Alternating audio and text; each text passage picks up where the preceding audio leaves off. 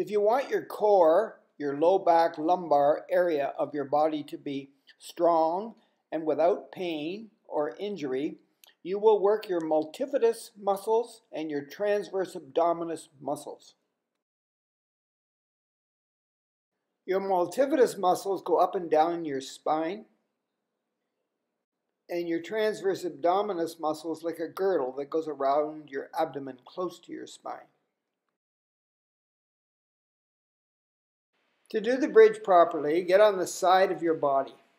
So prop yourself up so that you're on your forearm with your elbow below your shoulder at the front, then your hip, and then your knees and your ankles.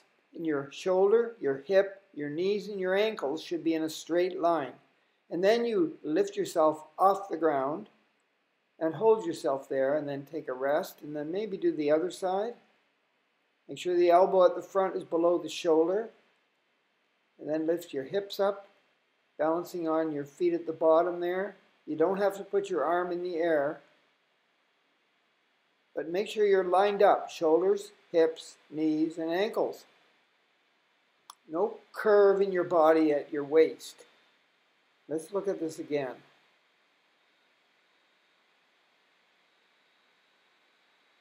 Okay, and how long do you hold yourself up? That's up to you. How many times do you do each side? That's up to you. But practice makes permanent. Get those multifidus and those transverse abdominis core muscles really strong. You want to keep yourself in great shape as you age.